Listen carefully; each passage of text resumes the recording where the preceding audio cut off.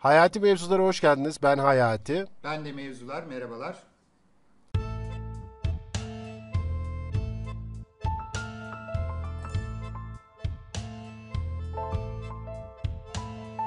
Bugün dördüncü bölümünü yapacağız. Funda ile beraberiz. Funda Tekilioğlu ile geldiği gibi konuşacağız. Daha önce üç bölüm yaptık. Üçü de çok beğenildi. Fakat araya bir korona girdi. Hoş geldin Funda. Nasılsın? iyi misin? Hoş bulduk. Teşekkür ederim. İyiyim. Çok heyecanlıyım. Özlemişim sizi. Va Vallahi biz de çok heyecanlıyız. Uzun bir süre oldu ve bölümlerimiz de inanılmaz e, iyi dinlendi. İnanılmaz iyi bir performans gösterdi. İnsanların bu sıralar böyle şeylere ihtiyacı olduğunu düşünüyorum.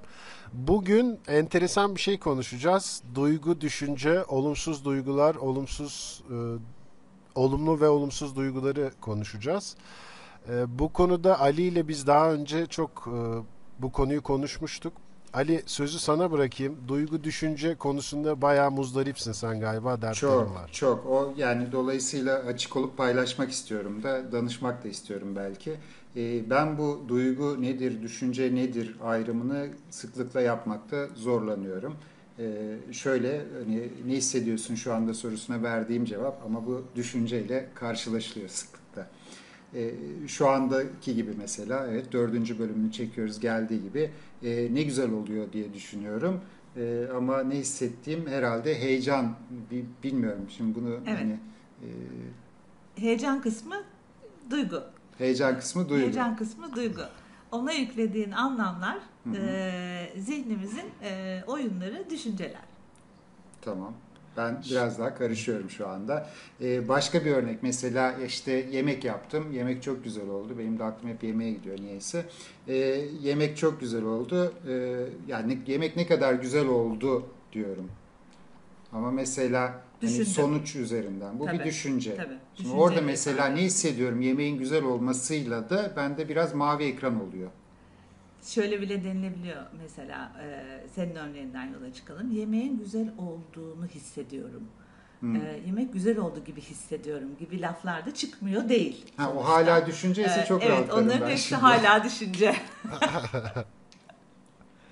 Onların Hala hepsi düşünce e, ama biz böyle e, genellikle popüler kültürde hep böyle düşünceyle bir şeyleri halledebileceğimiz üzerine gidiyor ve düşünce duygu ayrımı çok e, yapılamıyor gibi geliyor. Bu konuda ne diyeceksin Funda? Gerçekten çok yapılamıyor. Biz ayırt edemiyoruz. Duygularımızın e, çok farkına varamıyoruz. Varsak da onlara mutlaka bir anlam yükleme, e, bir tanı koyma, bir e, kalıbın içine yerleştirme e, gibi oyunlara sokuyoruz kendimizi.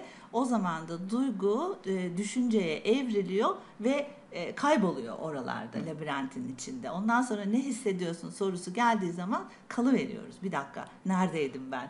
İlk ilk nereden çıkış yaptı? E, onu çok şey yapamıyoruz, bulamıyoruz. Bu ne hissediyorum sorusunun önemli bir soru olduğunu düşünüyorum ama bunu çok sıklıkla da şimdi ne hissediyorum, şu anda ne hissediyorum, şimdi ne hissettim, şu anda ne hissettim diye sorarsak da başka bir şeye evriliyor galiba. Şu an bu kadar çok soru sorduğun zaman zaten yine zihninin başka bir oyununa alet oluyor e, gibisin. Kendini o histen arındırıyorsun aslında. Yani e, içinde içine girip de onu hissederken e, yaşamaktan alıkoyuyorsun. Yani şu anda ne hissediyorum, şu anda ne hissediyorum. Tabii ki sorulursa farkındalığımız açısından önemli bir soru bu. Ama bunu sürekli sürekli sürekli hale getirdiğimiz zaman da kayboluyoruz. Yine kayboluyoruz.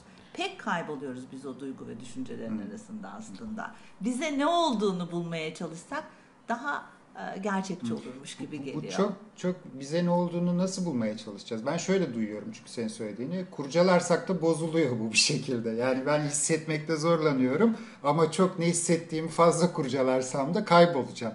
Ee, nasıl yapacağım? Nasıl olacak bu? Ee, Eğer bir şeyden etkilendiysen, e, diyelim ki yemeği yemekten sen yemekten Tamam. örnek verdiğin için o yemeği yaparken ki halinin ne kadar farkındasın. E, oradan işte onu onu da katayım bu da böyle güzel olur filan o keyifse işte bu duygu. e, dur. E, zaten içinde yaşıyorsun onun. E, şimdi şu anda ben keyif alıyorum ma ihtiyacın varsa söyle. De yaşarken de her seferinde şimdi bana ne oluyor onun cevabını vermek zorunda mısın? Emin değilim bundan. Keyif var mı yaptığın şeyde? O ki, ki- keyifle ancak duyduğum yani yani o keyif yoksa zaten duygu yok. Boşuna aramayayım o zaman. Ke- Yani keyif- belki belki Hı. canın sıkkın Hı o arada. Aklında bir sürü sa- saçma sapan şey var. Onları e, düşünürken karıştırıyorsun. Demek ki bir sıkkınlığın var. E, bununla harmanlanıyorsun. E, burada neye ihtiyacın var senin? Yani neyi bilmeye ihtiyacın var? Ee, işte neye bilmeye ihtiyacım var? Bir, bir- aslında bir şeye ihtiyacım Hangisi yok. Çok duygu, da- hangisi düşüncenin yani- ayrımına varırken yemeğin keyfinden uzaklaştın. Yani evet yemek Yemeğin zevkinden yemek, uzaklaştın. Evet, yemek yapmanın zevki yani o, onu bir zorunluluk diye yaptığımda o keyif olmuyor. Heh. Ama orada da bir his yok mu? Yani Var, ben böyle bir olur mu? şey ne bileyim işte yani yemek yapılması gerekiyor diye yapmaya çalışırken de orada bir sıkışmış hissediyorum mesela. İşte du- duygu. Ha, duygu. Tamam. Şimdi bu olumsuz oldu ama keyif alarak e, yaptım yemeği iyi gidiyor, hoşuma gidiyor, mutluyum, onu deniyorum, kokluyorum yemeği, bir şey bir baharat daha katıyorum. E, bundan keyif aldığım için de bundan zevk alıyorum. O da bir Duygu. duygu. Kesinlikle. Bayağı duygu. Kesinlikle. Evet. Ee, olumsuz oldu dedin ya oraya Evet. bir e, çentik atmak Evet, gör- istiyorum. evet, gördüm Ee, orada Şöyle bir- bir, baktım bir sana baktım. Ee, zaten. Ya e, isterseniz şu duyguları da ayrıştırmayalım, birbirlerinden ayırmayalım. Ee, onların Kutup, kutuplaştırmayalım? Kutuplaştırmayalım. Evet. Ee, evet bazı e, duygular e, bize uğradığında kendimizi ve enerjimizi aşağı çekebiliriz. Bazı duygular bize geldiğinde e, enerjimizi kendimizi yukarıya e, çıkartabiliriz. Yani bizi aşağı çeken ya da bizi yukarıya çıkaran duygular var diyelim. Ama buna olumsuz dediğimiz zaman şöyle bir yanılgının da içine düşüyoruz bence. Olumsuz ya hemen bırakalım. Hemen ondan kurtulalım. Bir kurtulasımız geliyor onlardan. Ee, Tam da ben zaman- onu Heh. soracağım sana. Böyle bir e, bir popüler kültür var. E, olumsuz duygulardan uzaklaşma, sıkkınlık, bıkkınlıktan uzaklaşma vesaire gibi. Burada bir şeyler karışıyor sanki, iç içe giriyor gibi geliyor bana. Çünkü e, insanın e, her türlü duyguya ihtiyacı var ki o orada var diye düşünüyorum ben. O orada bulunuyor diye düşünüyorum. Fakat hedonist de bir kültür var. Devamlı keyif alacağım, devamlı haz alacağım, hiç acı çekmeyeceğim, hiçbir şekilde utanç duymayacağım, endişelenmeyeceğim. Endişe duyduğum anda oradan kaçacağım. Ödümüz Bunun patlıyor. Bun, bunun ödümüz patlıyor. Niye ödümüz patlıyor acaba? Negatif kelime kullanmayacağım diye olağanüstü Negatif- çaba harcayacağım. Pardon bunu Ha, düzeltiyorum şimdi. Hayır öyle değil. Şimdi bir daha söyleyeceğim falan gibi. Yani o, Evet, o- evet. onu yakaladığım durumlar oluyor mesela. Ya da ya da mesela şöyle oluyor. Ben şuna da denk geliyorum. Mesela bunu ayır, ayırmak lazım mutlaka ama negatif film mesela olumsuz bir film. Ee, olumsuzluk anlatan, içinde olumsuz ya da senin tabirini kullanayım Funda. indirgeyen duyguların olduğu, yükselten duyguların olduğu ama indirgeyenlerin daha çok olduğu karanlık bir film. Onu izlemeyeceğim, bunu izlemeyeceğim. Yani bir sakınma durumu oluyor. Bu bataklıktan çıkmaya çalışıyor gibisin ama çabaladıkça daha dibe batıyorsun gibi geliyor. Tabii ki çünkü aslında sende var olan e, e, bütünün yarısını reddetmiş de oluyorsun aslında. Yani sana bir geldiyse o duygular bir şekilde onları e, içinde hissedebiliyorsan, yaşıyorsan zihnin istediği kadar reddetsin. Bedenin o duygularla yaşıyor zaten. E, sen sadece kendini kandırıyorsun. E, farkındalığımızı da o kadar azaltıyoruz ki böyle. Ama az önce bir şey söyledin. İndirgeyen derken bile aslına bakarsan olumsuzladın. Beni aşağı çeken. E, Beni aşağı çeken peki. Beni aşağı çeken ve benim yukarı çıkmama katkı sağlayan. Yani aşağı da inebilirim, yukarıya da çıkabilirim. Ha, bütün duygular beni aşağı mı çeken? Hayır, değil. Ben endişeliyim e, diyelim ki bir, bir bir şeyden dolayı bir endişe e, yaşadım. Dedi ya içim sıkıştı e, belki. hı, Ben onu fark ettiğim e, zaman e, belki de o sıkışma halim ortadan kaybolacak. Keyif almayacağım ama sıkışma halim ortadan kaybolacak. Belki o endişe halim ortadan kaybolacak. Beni ne zaman aşağı çeker bu biliyor musun? O endişenin içinde bir görmemeye çalışırsam o endişenin içerisinde kavrulup kavrulup kavrulup sürekli onunla yaşamaya devam edersem işte aşağıdayım. Yani İşte bu duyguya böyle bir ciddi bir anlam şey. yüklüyorum farkındaysanız. Yani duygunun böyle bir gücü olduğunu zannetmiyorum. Ben endişeyim şimdi. Geleyim sana da seni sana bir tokat atayım. Yok öyle bir şey. Yok öyle bir şey. O tokatı biz kendimize atıyoruz. O duygularımıza öyle anlamlar yüklüyoruz ki bir de senin söylediğin şey işte belki de bu son eee, yılların favorisi aman aman her şeye olumlu olumlu duygular hissetmeliyiz mutlaka gibi bir şeyler var. Ee, olumlama ile olumlu duygu hissetme de birbirinden farklı aslında bakarsan çok karışıyor hepsi birbirine. Bir, biraz biraz da onu onu anlatalım istiyorum ama şuna da bir girelim. Ee, şimdi ben e, kendimi mümkün olduğu kadar bu işte e, beni aşağı çeken duygulardan sakındığımda bünye bunu yaşamaya devam ediyor diyorsun. Tabii. Sen istediğin kadar sakın. Tabii. Çünkü senden daha bilge bir bedene sahipsin büyük bir olasılıkla. Tabii. Zihin O bedenle kapıyı huzur- kapatıyor ama o duygu senin içinde bedeninde yaşarken zihnin kendini kapıyı kapattı ya kandırıyor. Aşağı Diyor ki çekme şey- ihtimali de artıyor. Tabii artıyor. Artıyor. Tabii. Yani kaçındığın Tabii, tabii. şey Tabii, daha fazla tabii, başına geliyor tabii. bu durumda. O zaman şöyle diyeyim, e, bize hep e, popüler kültürde e, pompalanan şey mutluluğun, hazzın, keyfin peşinde koşmak. Arkadaşım niye Yani- koşuyorsun ya? Koştuğun zaman onu zaten kendinden o kadar uzakta varsayıyorsun ki. O kadar uzakta bir şey ki. Koş peşinden. Yani sen o koşu esnasında yürürken, yaşarken onu yaşayacaksın.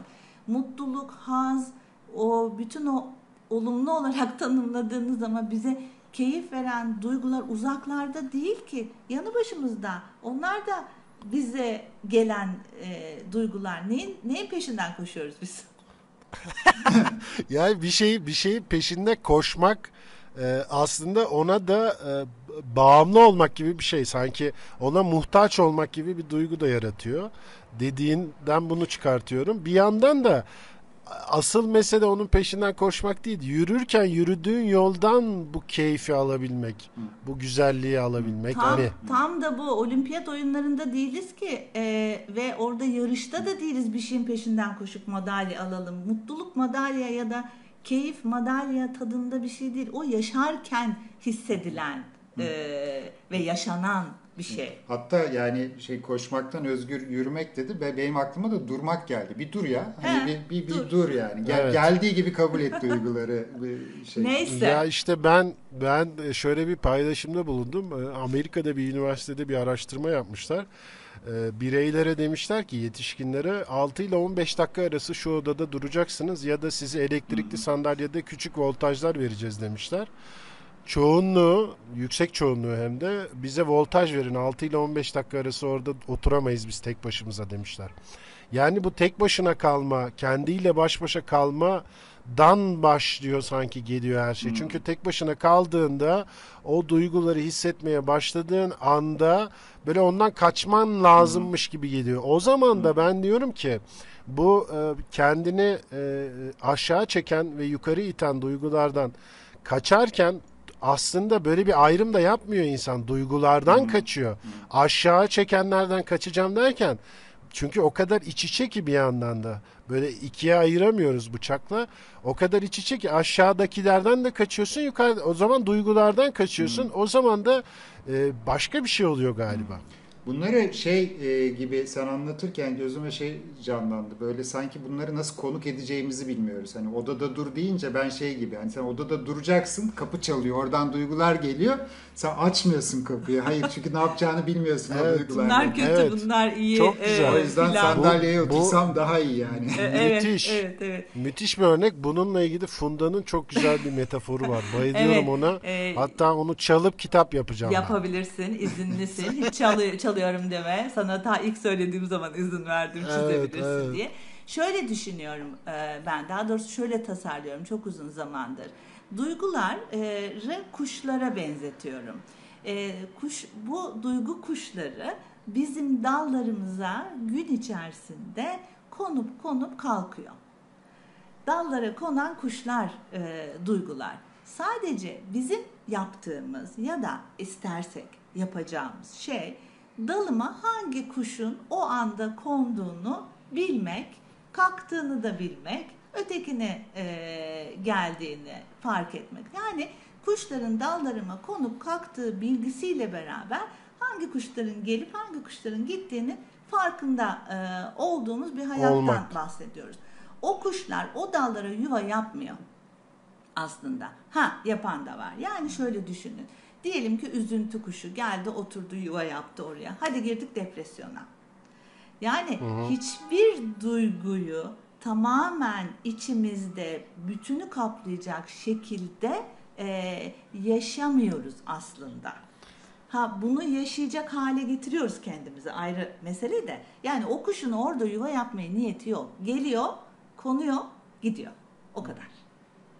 O zaman bizim bu kuşları tanımamız gerekiyor. En yani hangi evet, kuş geldi, evet. hangi koş gitti. Evet, evet, Bunu evet, bilmemiz evet, lazım. evet. Twitter'da öyle. şimdi hangi tür diye bir şey var, etiket var. Onun gibi hangi hangi duygu yani hangi duygu sorusunu sorup bakmak Bak gerekiyor. süper. Öyle bir etiket açabiliriz Ali Hangi hayati duygu? mevzular Şimdi Twitter. hangi kuş duygu geldi? o kadar Ses kaydıyla anlat bakalım Evet. hangi O kadar Evet. e, o kadar anlık e, ki bunlar e, aslında. Şimdi bir müddettir sizinle ne kadar zaman oldu konuşuyoruz. İşte başlangıçta ben de bir heyecan kuşu vardı. Ondan sonra bir merak geldi farkındayım. Çünkü acaba ne- nereye doğru evrileceğiz? E, ondan şimdi keyfin doruğunda olduğumun farkındayım. Bittiği zaman ne olacağını bilmiyorum. Alın size işte bana konan kuşlardan fark edebildiklerim. Ee, bunlar. Fark Bunu- etmek bununla- zorunda mıyım? Çok emin değilim. Fakat bir yandan da şöyle bir şey e, yok mu? Ee, Ali'den bildiğim bir örneği, Ali o örneği nereden aldığını da söylersin. Ali e, trafikte çok öfkeleniyormuş. Öfkeyi merakla değiştirmeyi Hmm, denemiş. Onu bir anlatabilir misin? Harika. Ali? Çok Ee, güzel bir kuş şey- kuş değişimi. Şöyle bir laf galiba bunun kaynağını bulamadım. Çok da takılmıştım vaktiyle ama bakarım bir daha altına yazarız eğer bir kaynağı varsa. Laf şu. Aynı anda hem meraklı hem öfkeli olamazsın. Dolayısıyla kuşla belki şöyle bağlanabilir. E, sesli düşünüyorum. E, yani gö- görürsen orada merak kuşunu da görürsen zaten öfken yuva yapamıyor. Heh, oldu bak. Ha. Öfken yuva Evet. yapamıyor. Öfke Evet. öfkeni de görebilirsin, merakını da görebilirsin. Ama meраğa baktığın zaman öfke zaten e, ben kalkayım artık falan diyor. Yani belki birazdan geri Evet. Güzel bir yerdesin. Şöyle ki aslında kızgınlık ve öfke dediğimiz duygular ikincil duygulardır. Yani e, bizim hissettiğimiz bir temel duygular vardır. Bir şeyler olduğu zamanki ilk ilk duygulardır. Eğer biz o duyguların çok farkına varmazsak, varsak da bunu kendimize ya da dışarıya ifade edemezsek, bir şekilde o duyguların yaşamasına izin vermezsek, dediğin gibi kaçıp da koru e, uzaklaşmaya çalışırsak, işte ikinci duyguya geçiyoruz bu sefer. Çünkü o duygu büyüyor. E, besleniyor yanına birkaç tane daha e, diğer temel duyguları alıyor ve kızgınlığa ve öfkeye e, evrili veriyoruz. Şimdi öyle güzel bir örnek verdin ki öfke dedi. En altta büyük olasılıkla zaten ne yapıyor bu adam şimdi merakı vardır. Sonra sen ona anlam yükledikçe büyük olasılıkla kızıyorsun ve öfkeleniyorsun. Ama Evet. sen döndüğünde temel duyguna, merak duyguna zaten diğeri kalmıyor. Evet, Çok şey bir bakış açım biraz değişti. Bunu biraz hazmetmem gerekecek. Bence çok güzel bir örnek Evet. Ali bu. Çok da pratik bir şey. Aslında Funda böyle bir pratik öneride bulunabilir miyiz diye de soracağım sana. Çünkü ben bunu Ali'den ilk duyduğum andan itibaren öfkelendiğim herhangi bir durum ya da herhangi bir kişi olduğu zaman hemen meraka gidiyorum ve diyorum ki acaba niye böyle yaptı? Acaba bunun arkasında ne var vesaire diye sorduğum zaman o öfkem ciddi anlamda azalıyor. Ciddi anlamda hem de. Ve bir anda azalabiliyor. Şimdi senin dediğin gibi ikincil duygular ve temel duygular. Temel duygulara ulaşmak için böyle bir pratik yöntem bulabilir miyiz acaba? Var mıdır? Ee, birkaç tane soru var. Abartmamakta fayda var yalnız bunları. En başta da söylediniz. Her dakika, her saniye şimdi ne hissediyorum, ne yapıyorum, Allah'ım oturdum ne filan. O, o kadar abartmayalım ama birkaç soru Tamam. var tabii. Ee, aslında şu anda e, içimde ne oluyor? Ne hissediyorum sorusu eğer beni çok kaygılandırıyorsa hani bulamıyoruz ya bir düşünceye e, ka- e, Evet, gidiveriyoruz evet. ya o zaman içimde ne oluyor? Ee, sorusunu bir soralım bakalım. Şimdi bu soruya hemen cevap vermemiz çok e, mümkün olmuyor bazen. Bilemiyoruz bazen. Hı hı. Zihnimiz yine orada pat diye devreye giriyor. Bir sürü şey söylüyor bize e, aslında.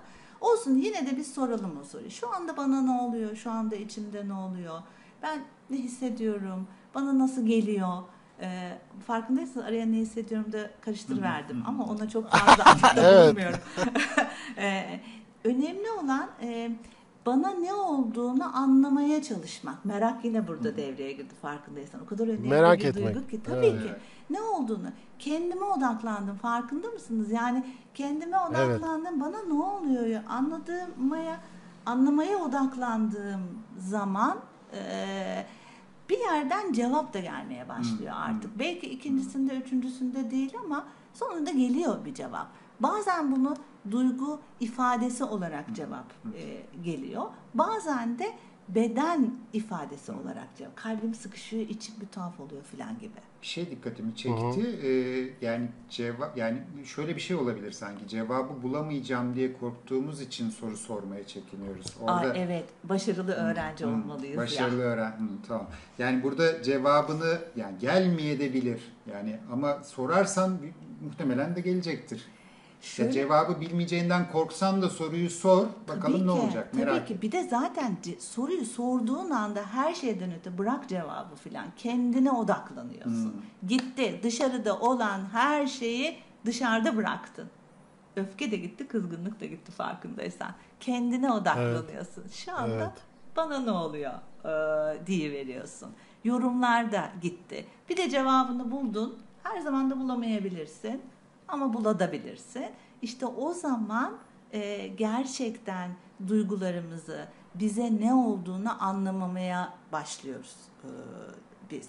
Peki he- hemen çok can alıcı bir soru aklıma geldi. Bize ne olduğunu anlamaya başladığımız andan itibaren de bünye diyorum ben ona. Evet. Yani beden ve ruhu birleştirip bünye diye kullanıyorum. Rollo meydan aldım onu da. Ee, bünye rahatlıyor o zaman. Tabii, Doğru olabilir tabii, mi bu tabii, söylediğim? Yani tabii. bünye rahatlıyor. Olumsuz da olsa yine onu kullandım ama kusura bakma. Olsun. Olumsuz da olsa, olumlu da olsa bünye rahatlıyor.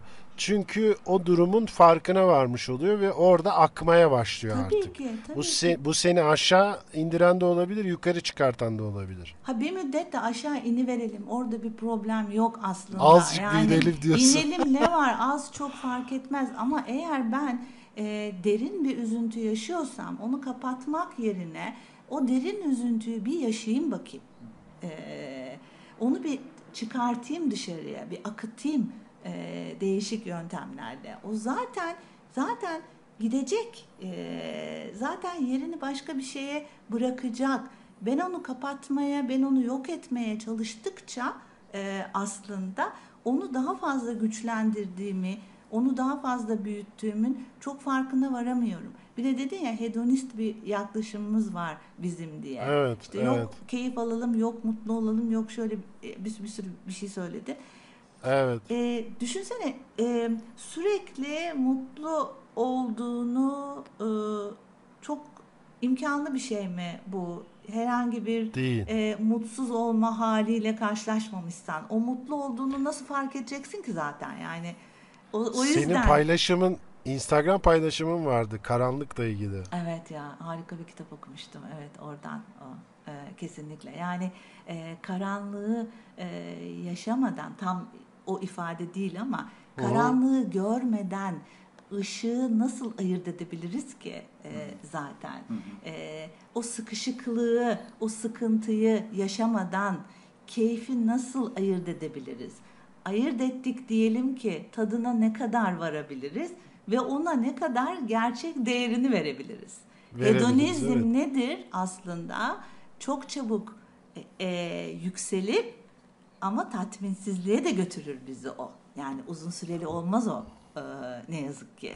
Yaşarız ve İşte biter. ben evet ben ben onu e, çok sık görmeye başladım. Bu belki çok belki korona ile ilgili de bir şey olabilir. Çünkü böyle sıkıntılar ve kaygılar olduğu zaman insanların daha çok hedonistliğe daha fazla meyilli olduğunu düşünüyorum bir anlamda. Bir nevi şöyle bir şey e, pompalanıyor ya da popüler kültürde çok sıkça e, görüyorum bunu. Her gün aynı modda olacağım. Yani her gün ben buna şey diyorum. e, radyo DJ'leri gibi. Hani radyo DJ'lerini açarsın adam dersin ki ya arkadaş bu ne mutluluk bu ne enerji.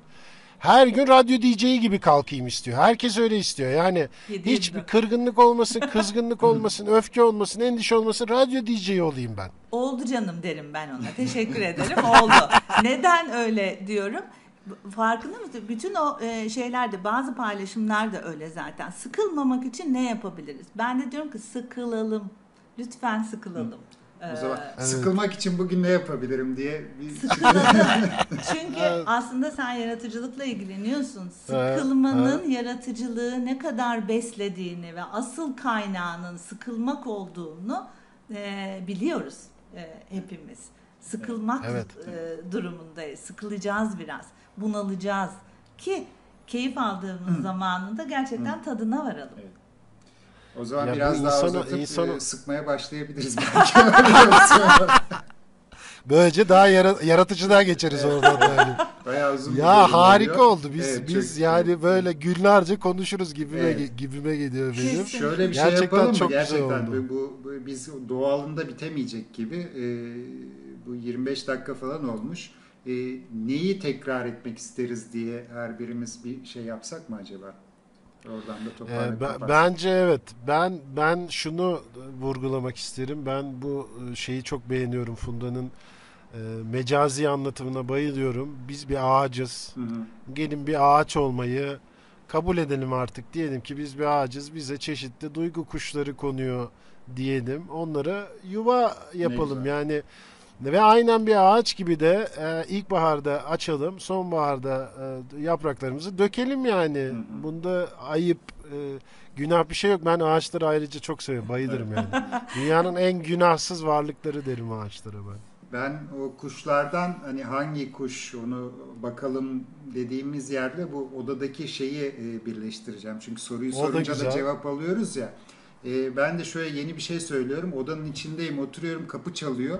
Bir duygu geldi kim o diyorum. Yani Aa, birazdan gelecek güzel. yani. Kim o? Hani Evet. Ben oradan bilmem. bir cevap gelecek mutlaka sorarsam. E, Kesinlikle. bana ne Evet, doğru. de gelecek. Kes, kesinlikle. Müthiş bir örnek o da. kesinlikle.